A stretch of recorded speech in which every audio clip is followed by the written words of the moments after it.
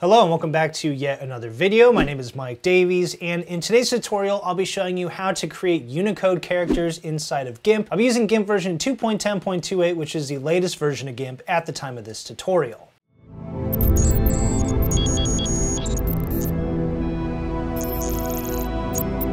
Before I get into that, don't forget to check out my website at daviesmediadesign.com. As always, I have tons of video tutorials on here plus free software help articles, so definitely check that out. You can enroll in my GIMP 2.10 masterclass from beginner to pro photo editing on Udemy, and I will include a discount link to this in the description. Plus, you can get access to more content by becoming a DMD Premium member, and I'll include a link to this as well as all the relevant links from this tutorial in the description of the video. All right, so let's dive right in. Unicode characters are going to be a variety of characters or symbols you can insert into your text. So for example, a bullet point, maybe a biohazard sign or a recycling symbol, various symbols from all types of languages around the world you can insert using Unicode characters. So here I am inside of GIMP. To demonstrate how this works, I'll hit Control N, which is the same as going to File, New.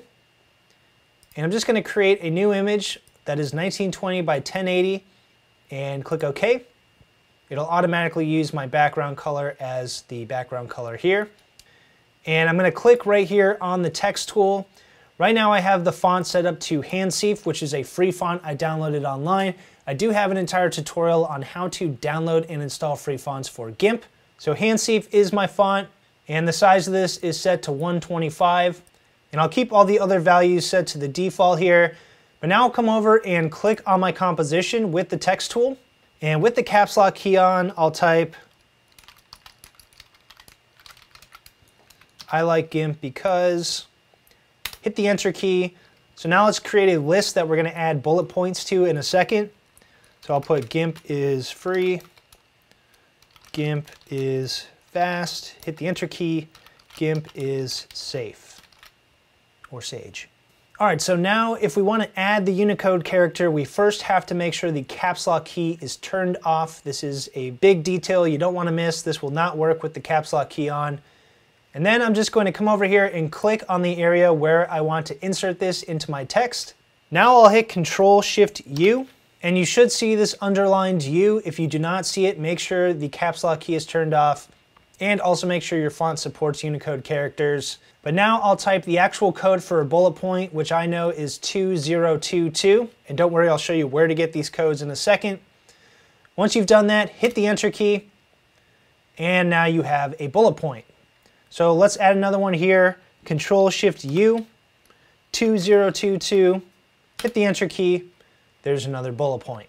Let me highlight this so you can always Control C to copy, Control V to paste. So you can paste Unicode characters. So what if you want to add a Unicode character that is different than a bullet point? Well, if you come over here to the article version of this tutorial, and you scroll down, I have a little section here titled Where to Find Unicode Character Codes. And I've got a couple of links here. One of the links will lead to this website here. And there's some ads on here. But for example, let's say we wanted to use the trademark here. So the Unicode character is the one that has the U next to it. So U plus 2122. That's what we're going to type in GIMP. So let's come over here to GIMP and hit Control Shift U, 2122, hit the enter key, and now GIMP has a trademark next to it. I'm pretty sure GIMP is not trademarked, but just for fun, we're gonna put it next to all these. And let's find another example. So let's come over here to tech. And let's say we wanna insert a little video camera. So this one is U plus 1F3A5. So we'll hit the enter key, control shift U, 1F3A5. So that's a longer one. Hit the enter key, and now we get this cool little video camera. There are a ton of possibilities with this, obviously, so feel free to look through that link and check out some of the various Unicode characters that are available, and now you know how to insert them using the text tool with GIMP. All right, that's it for this tutorial. Hopefully you liked it. If you did, don't forget to like this video, subscribe to my channel, and click the bell icon to be notified each time I have a brand new tutorial. You can check out any of the links to my resources in the description of the video. But thanks for watching, and I'll see you next time.